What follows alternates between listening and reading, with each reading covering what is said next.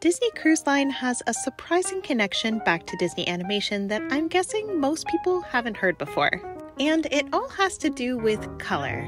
And no, we aren't going to talk about the lifeboats that Disney got special permission to make yellow because that's a story for another day. No, this story connects back to the hardworking women of Ink and Paint, which was a department at Disney Studios that would ink or trace designs from animators and then meticulously paint in the colors on the cels one at a time.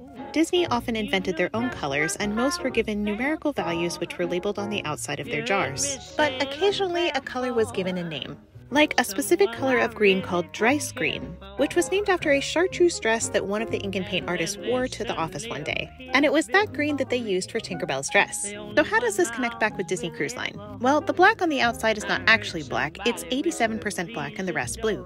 And it's called Monica Blue because they had a colleague who wore the perfect color of dark blue pants to the office one day.